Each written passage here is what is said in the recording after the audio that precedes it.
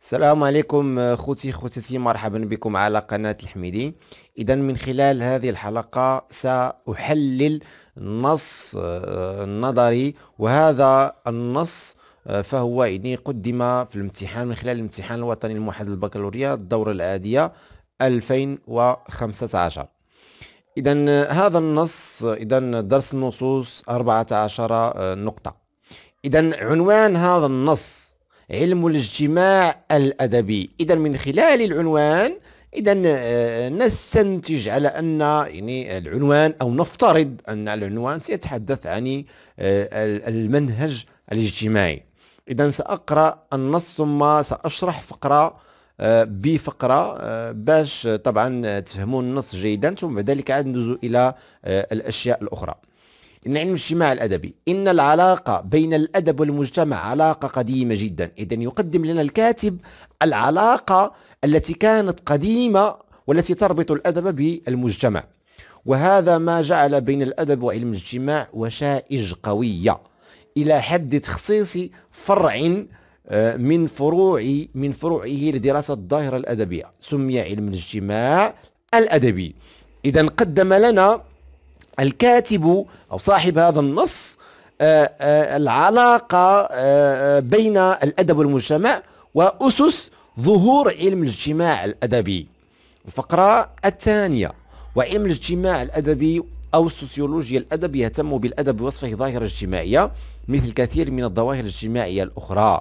إذا يهتم باش علم الاجتماع الأدبي يهتم بوصفه ظاهرة اجتماعية. بوصفه ظاهرة اجتماعية مثل كثير من الظواهر الاجتماعية الأخرى وهو يدرس أركان الأدب الثلاثة. هو أركان الأدب التي يدرسها علم الاجتماع الأدبي. الأديب بمعنى آخر أي الكاتب أو المؤلف والأثر الأدبي الأثر أو الأشياء التي جعلت مثلا الكاتب يكتب وهي يعني تظهر ويعني آه، بادية في آه، كتاباته.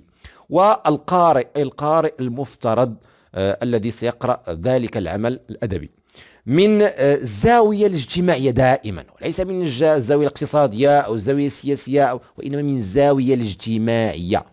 أي أن علم الاجتماع الأدبي يحاول أن يبين العلاقة بين الأدب والظروف الاجتماعية المحيطة به. وهذا يفيد في إلقاء أضواء متعددة على الظاهرة الأدبية كما يفيد في فهم المجتمع. وبعبارة أخرى فإن دراسة الظاهرة الأدبية باعتبارها ظاهرة اجتماعية تفيد دارسي الأدب ونقاده كما تفيد علماء الاجتماع أنفسهم. طبعا. اذا قدم آه، لنا آه، صاحب هذا النص من خلال يعني آه، هذه الفقرة أي الفقرة الثانية اهتمامات علم الاجتماع الأدبي. اذا يهتم بدراسة أركان الأدب ويبين علاقة بالعلاقه المجتمع بالظاهره الأدبية. اذا سأنتقل إلى الفقرة الثالثة. اذا لقد أثر علم الاجتماع الأدبي تأثيرا كبيرا في الحركة النقدية والأدبية العالمية. إذا حينما ظهر علم الاجتماع الأدبي فقد فأثر يعني تأثيرا كبيرا على الحركة النقدية الأدبية ويعني آه، العالمية. وقدم لها فوائد من خلال الدراسات المتعددة التي ألقيت بأضواء آه، ألقت عفوا بأضواء ساطعة على الظاهرة الأدبية إبداعا آه، وطبيعة ووظيفة. كما أثر على العوامل المؤثرة في تطور الأدب وفي تغيير المدارس الأدبية وفي ظهور أنواع أدبية جديدة وفي الكتاب وانتماءاتهم كما قدم لنا هذه الحركة فوائد من خلال الاهتمام بمسألة الذوق العام ونوعية القراء وطبيعة استجابتهم للأعمال الأدبية إذا قدم لنا الكاتب آه، آه، في آه، الفقرة الثالثة فوائد علم الاجتماع الأدبي على على ماذا؟ على الحركة الأدبية على الحركة النقدية الأدبية وأثره أي أثر الأدب الاجتماعي عليها. إذا هذه يعني الفقرة الثالثة. سأنتقل إلى الفقرة الرابعة. ولعل تعدد هذه الاهتمامات والموضوعات هو ما جعل علم الاجتماع الأدبي ينقسم بدوره إلى فروع متعددة. فهناك علم اجتماع القراء وعلم اجتماع المؤلفين وعلم اجتماع الموزعين وعلم اجتماع الأنواع الأدبية. إذا يقدم لنا الكاتب من خلال يعني هذه الفقرة تعدد فروع علم الاجتماع الأدبي ويعني قد أحصاها حينما قال وعلم اجتماع المؤلفين وعلم إذا أحصاها إلى عدة فروع. سأنتقل إلى الفقرة الخامسة. طبعا. وإذا كان علم الاجتماع الأدبي يهتم بالعلاقة بين الأدب والظروف الاجتماعية فإننا نجد مواقف متعددة لعلماء الاجتماع تتباين إلى حد التناقض حول رؤية طرفي العلاقة أي حول النظر إلى الأدب من جهة والنظر إلى المجتمع ونشأته وتركيبه وتطوره من جهة ثانية مما يؤدي إلى وجود مفاهيم ومستويات متعددة لعلم الاجتماع الأدبي ذاته فهناك اذا آه، علم الاجتماع الأدبي ذاته. فهناك علم الاجتماع علم اجتماع أدبي يهتم بتفسير آه، نشأة الأدب وماهيته ووظيفته على اعتبار أنه شكل جمالي له دلالات اجتماعية. وهناك علم اجتماع أدبي يهتم بالبحث عن صورة المجتمع داخل الأعمال الأدبية. إذا من خلال هذه الفقرة فقد آه، خصصه الكاتب الحديث عن عن مستويات ومفاهيم علم الاجتماع الأدبي. إذا آه، آه، تتعدد بتعدد مواقف العلماء من العلاقة بين الأدب والمجتمع وتباي وتباي وتبايناتها أو تبايناته. طبعا آه، إذا والفقرة آه، آه، الأخيرة فهي جاءت على الشكل التالي. وأخيرا فإنه لا بد أن تكون أن, أن تكون قراءة دارس الأدب لمعطيات علم الاجتماع جزءا من عدته الأساسية فهو يفيده في مستويات متعددة إذا أحسن استخدام نتائجه. طبعا إذا من خلال هذه الفقرة أي الفقرة الأخيرة ف قدم لنا آه، فيها الكاتب أهمية استفادة آه، دارسي الأدب آه، دارسي الأدب من نتائج إذا استفادوا من نتائج علم الاجتماع الأدبي. إذا سأنتقل إلى إلى الأسئلة. قبل ذلك إذا صاحب النص هو شكري عزيز ماضي. إذا سأنتقل إلى الأسئلة. أكتب موضوعا إنشائيا وفق تصميم منهجي.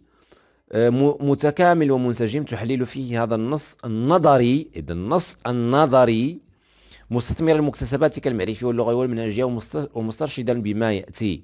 إذا أول شيء طلب منا تأطير النص ضمن المناهج النقدية الحديثة وصياغة فرضية لقراءته إذن لا بد أن نصوغ فرضية لقراءة هذا النص. وكما قلت لكم الفرضية آه، آه، لكي نصوغ الفرضية فلا بد يعني أن أن نحلل النص يعني تحليلا آه تحليلا يعني دلاليا وتركيبيا إن إن, إن استطعنا آه، إن استطعتم ذلك.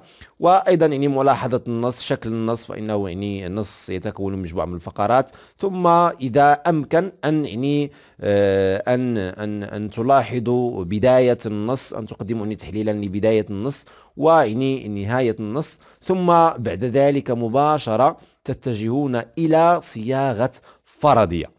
أما فيما يخص المقدمة فأنا إن شاء الله غادي نخليها لكم في صندوق الوصف من خلال الرابط آه، الرابط يعني اللي غادي نخليه لكم غنشير له وغادي نخليه لكم في صندوق الوصف.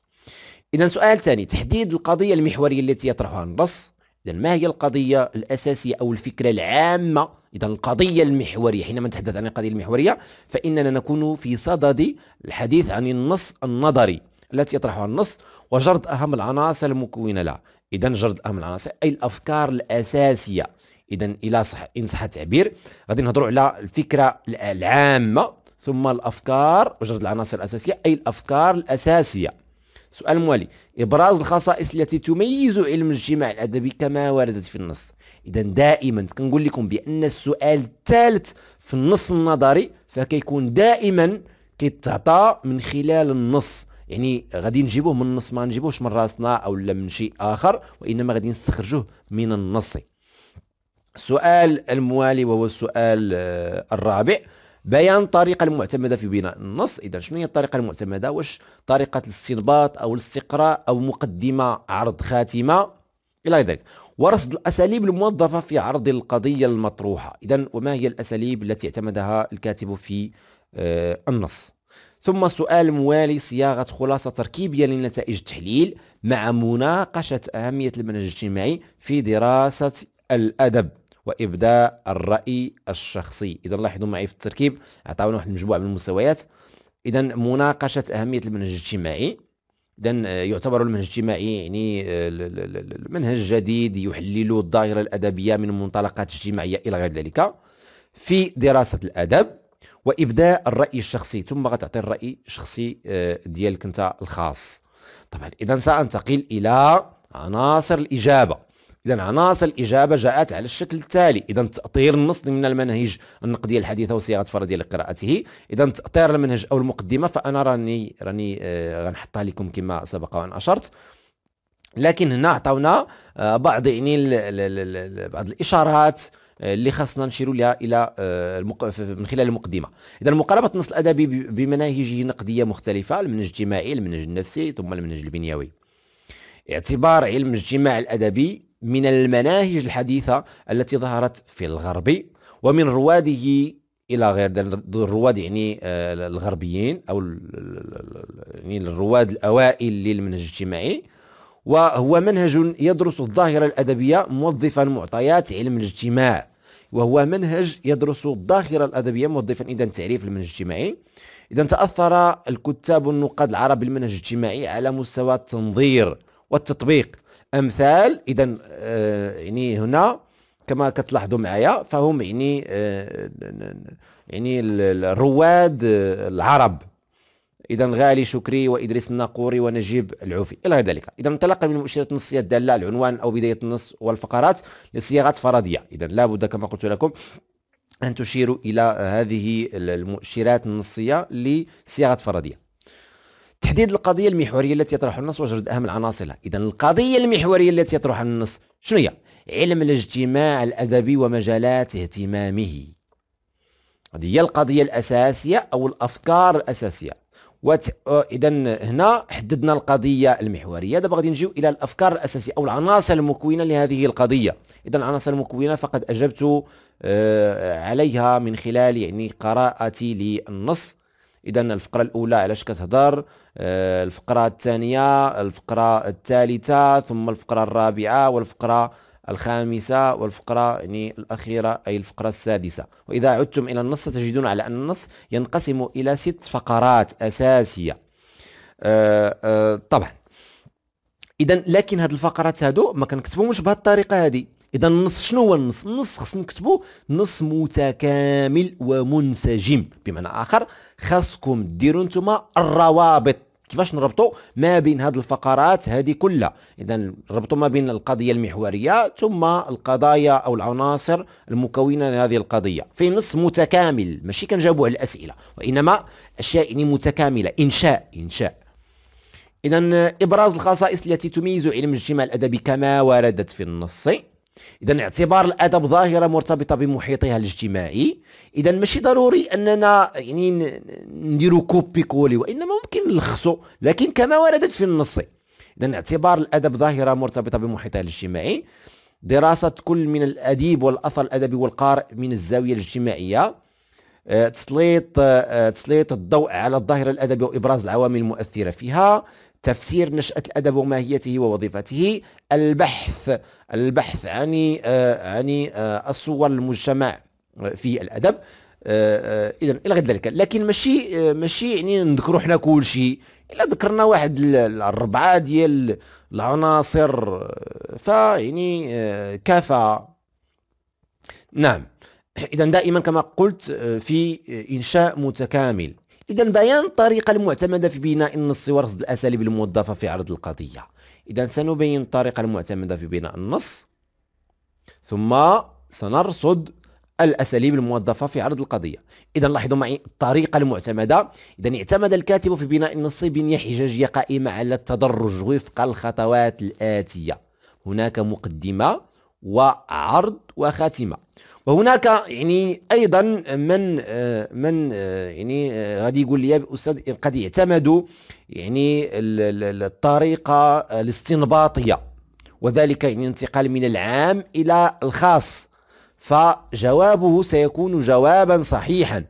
علاش؟ سأعود معكم إلى النص. إذا لاحظوا معي النص. إذا شنو قدم لنا في الأول؟ قدم لنا يعني العلاقة التي تربط بين الأدب المجتمع يعني كبداية أو يعني آه ك يعني آه مفهوم ثم بعد ذلك أعطانا خاتمة. ولكن أيضا حتى مقدمة عرض خاتمة فهي صحيحة. وما يؤكد ذلك عودوا معي إلى آخر النص. وأخيرا إذا فهذه خاتمة خاتمة للنص. طبعا اذا اعتمد آه مقدمة وكديروا مقدمة عرض خاتمة ماشي كدير يعني الطريقة الاستنباطية وكتحبس وإنما كتشرح. يعني راه ممكن أن المصحح يدير يدير له مثلا غير الطريقة الاستنباطية وتحبس فغير صحيح. إنما دائما مع التعليل. اذا مثلا بحال هنايا مقدمة أشار فيها إلى العلاقة الوثيقة بين الأدب والمجتمع وظهور علم الاجتماع الأدبي. ثم تطرق في العرض رصد, في رصد فيه الاهتمامات علم الاجتماع الأدبي وفوائده وفروعه ومواقف علماء الاجتماع في العلاقة من عفوا علاقة الأدب بالمجتمع. ثم خاتمة أكد فيها أهمية نتائج علم الاجتماع الأدبي. ثم الأسئلة الموظفة إذا وظف الكاتب العرض القضية أساليب لغوية وحجاجية. لغة تقريرية نقصد باللغة التقريرية أي اللغة المباشرة. وغتعطيه. ماذا نقصد باللغة المباشرة؟ أي ضد اللغة الإيحائية. اللغة الإيحائية دائما كتلقاوها في الشعر مثلا. آه، في, في, في, في الشعر. تحديد إذا الإيحاءات والانزياحات إلى غير ذلك. عكس اللغة التقريرية اللي كتكون لغة مباشرة كما يعني جاء في هذا النص. وكتعطيو تعطيو يعني أدلة على ذلك. ثم التوكيد. توكيد إن إلى غير ذلك. ثم التعريف. عرف. إذا غتعطيو نموذج من النص. ثم الشرح والتفسير. أيضا غتعطيو أدلة وحجج من النص. ثم التعليل. إلى غير ذلك من النصوص. ثم هناك أيضا الاتساق التركيبي والاتساق الدلالي والاتساق المعجمي. إذا كاين فيكم اللي غادي يتلف هذه الاتساقات التركيبية والاتساق الدلالي أنا أنصحكم بأنكم فقط ديروا الأساليب وتقولوا يعتمد مثلا الناقد أو الكاتب في نصه أساليب آه، لغوية آه، حجاجية ويعني اتساقية ومباشرة تجيو يعني تكتبوا هذا الواصل والعاطف بلا ما تشيروا تقولوا مثلا بأنه الالتصاق التركيبي أو الالتصاق لأن كاين فيكم اللي غادي يتلف وما غاديش طبعا يعقل شنو كتكون مثلا في الالتصاقات الدلالية وشنو كيكون عندنا في الالتصاقات التركيبية. فبالتالي غتشير له أنت في الأول لأن اعتمد أساليب لغوية حجاجية والتصاقية ومباشرة هبط أما يعني اللي مثلا يقدر يضبط مثلا الالتصاقات التركيبية والالتصاقات الدلالية والالتصاقات المعجمية والأشياء اللي كتكون في الالتصاقات فلا بأس بذلك. إذا أما الالتصاق التركيبي فاستعمد فاعتمد أو اعتمد فيه الوصل بادوات بأدوات العطف بحال و آه، في إلى غير ذلك. والتفسير بحال مثلا أي حينما يعني آه، فسر لنا ذلك مثلا سأعود إلى النص باش نعطيكم آه، دليل. مثلا شوفوا معايا هنايا. أي اذا كيشرح لنا اذا هذه أداة من أدوات التفسير. التفسير والاتساق الدلالي كاستعماله مثلا الضمائر والإشارات. نقصد بالاتساق الدلالي أي الأشياء التي التي لها دلالة معينة. حينما نقول كتب الدرس من كتب أي هو. إذا هنا دلالي تدل على شيء معين. ثم الالتصاق المعجمي كل ما له علاقة بالمج... بالمعجم. بحال مثلا التكرار. مما إذا شنو هي العلاقة؟ هنا حقيقة مما أسهم في آه، تقوية مظاهر الالتصاق النص. هنا يعني غير فقط يعني غير شالوا ليها هما وصافي أما ما طرحوهاش لينا في النص هنايا. ما قالوا لناش مثلا شنو هي آه، شنو هي شنو هي يعني الوظيفة ديال هاد الالتصاقات هذه ثم خاتمة صياغة خلاصة تركيبية لنتائج التحليل مع مناقشة أهمية المنهج الاجتماعي في دراسة الأدب وإبداء الرأي الشخصي. هذا يراعى, يراعى في آه، تقويم هذا المطلب قدرة المترشح على ما يأتي. صياغة خلاصة تركيبية نتائج التحليل وتمحيص الفرضية. القراءة. اذا ضروري تمحيص الفرضية. كنديروها في الآخر. هذيك الفرضية طرحناها في الأول.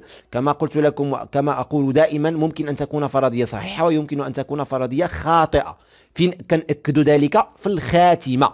الخاتمة اللي كنقولوا فعلا بان واش ديك الفرضية كانت صحيحة ولا فرضية كانت خاطئة. مناقشة أهمية المنهج الاجتماعي في دراسة الأدب ثم ابداء الرأي الشخصي ديالك أنت. اذا إخوان اللي تفرج في الفيديو من الأول حتى الأخر أو آه، وخدم يعني هذا المنهج هذا ف آه، يعني آه، غادي إلى كتبتي يعني الخاتمة كون أن الخاتمة كتكون عليها أربعة النقاط كتبها ليا وخليها ليا في التعليق أسفل الفيديو. وأنا إن شاء الله غادي نجاوبك عليها. واش خاتمة؟ يعني تحترم هذه المعايير أو أنها يعني خاتمة آه، ناقصة أو أنها خاتمة يعني آه، فيها يعني الأخطاء. المهم أنا سأصححها إن شاء الله. اذا أضرب لكم موعدا إلى الحلقة القادمة إن شاء الله.